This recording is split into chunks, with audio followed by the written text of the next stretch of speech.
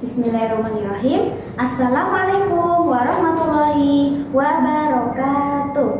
Hello, good morning my students. Anak-anak bagaimana kabarnya hari ini? Semoga anak-anak masih sehat selalu dan semangat ya untuk puasanya. Nah, seperti biasa, kembali lagi bersama Miss Kia. Kalau bersama Miss Kia, kita akan belajar pelajaran bahasa Inggris. Nah, anak-anak kelas 2, Eh, materi yang akan Miss Kia sampaikan hari ini yaitu tentang activity at school. Nah, coba anak-anak tebak dari judul yang ada di samping Miss Kia ini apa artinya? Activity at school itu apa? Activity artinya adalah aktivitas ya. Kemudian at school yaitu di sekolah. Jadi aktivitas yang anak-anak lakukan di sekolah. Nah, coba anak-anak ingat kembali dulu waktu anak-anak kelas 1 apa yang anak-anak lakukan waktu di sekolah? Ayo, yang pastinya yang paling utama yaitu belajar ya, kemudian bermain bersama teman-teman, kemudian piket juga. Nah, berhubung materi kita hari ini tentang activity at school, kita akan belajar tentang berbagai jenis kosakata tentang aktivitas. Kita mulai dari yang pertama ya anak-anak ya. Nah, coba dilihat di samping Miskia ini ada gambar seorang anak kecil yang sedang menyapu ya. Nah, menyapu dalam bahasa Inggris yaitu sweep. Sweep ya. Kemudian yang selanjutnya ini gambar sedang apa ini anak yang ada di samping ini? Menghapus papan tulis ya atau bisa juga bebersih. Nah, bebersih atau bersih-bersih dalam bahasa Inggris yaitu clean. Clean Kemudian selanjutnya Miss Kia mempunyai gambar lagi. Coba bedanya gambar ini sama yang pertama tadi apa? Kalau yang pertama yang pertama tadi sedang menyapu, kalau yang ini anaknya sedang mengepel. Iya. Nah, mengepel dalam bahasa Inggris yaitu move. Move. Oke, kita lanjutkan ya. Oke, kemudian selanjutnya ini Miskia mempunyai gambar seorang anak sekolah, anak maaf seorang siswa yang akan masuk ke ruang kelas. Ya, dia sedang membuka pintu. Oke. Nah, membuka pintu dalam bahasa Inggris yaitu open the door. Open the door. Oke, kemudian yang selanjutnya itu anak-anak sedang bermain. Ya, waktu istirahat pasti anak-anak bermain ya bermain dalam bahasa Inggris yaitu play. Play. Kita lanjutkan di gambar yang selanjutnya. Nah, kalau yang ini karena anaknya membawa kunci e, pintu, maka dia menutup pintu ya. Menutup pintu dalam bahasa Inggris yaitu close the door. Close the door. Oke. Kemudian kita lanjutkan lagi Biasanya anak-anak setelah beraktivitas harian, setelah sholat duhur di sekolah anak-anak makan siang ya. Nah, makan dalam bahasa Inggris yaitu eat. Eat. Oke. Coba sekarang Miski akan perlihatkan lagi gambar setelahnya. Coba kalau yang ini gambar apa anak-anak tebak?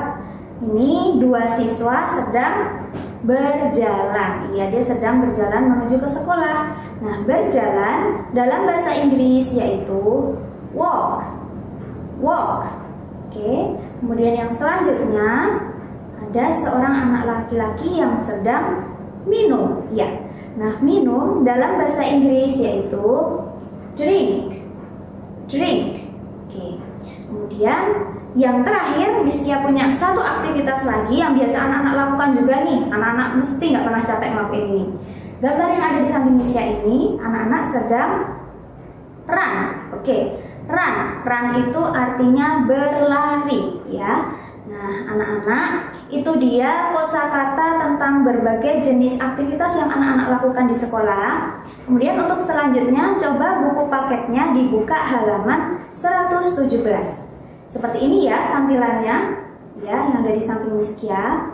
Nah, di sini ada banyak sekali aktivitas-aktivitas anak-anak yang dilakukan di sekolah. Silahkan anak-anak lengkapi kosakata yang belum lengkap ini agar menjadi kalimat yang sempurna. Oke.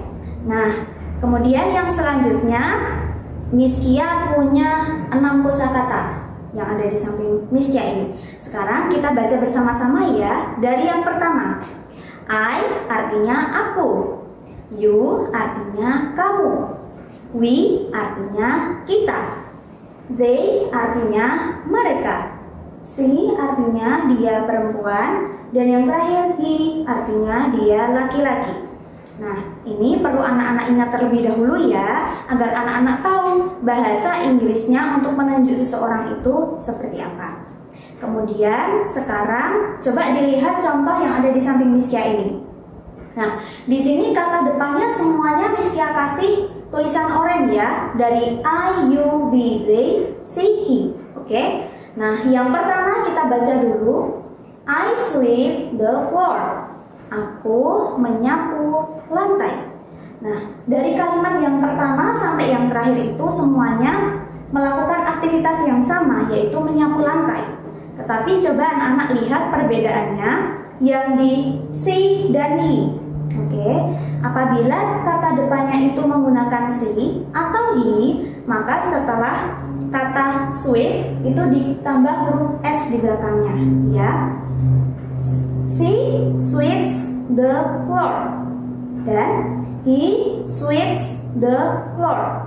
Nah, seperti itu ya. Nah, ini juga berlaku untuk aktivitas yang lain-lainnya seperti anak-anak misal mengepel. Tadi mengepel bahasa Inggrisnya move ya. Nah, kalau menggunakan she atau he, maka belakangnya juga menggunakan s moves. Jadi she moves the floor seperti itu. Nah, anak-anak setelah ini anak-anak buka buku paketnya halaman 125. Di halaman 125 silahkan anak-anak lingkarin salah satu kosakata yang benar sesuai dengan subjeknya. Kalau misal subjeknya I seperti yang ada di samping Misya ini, maka harusnya menggunakan S atau tidak belakangnya. Seperti itu ya.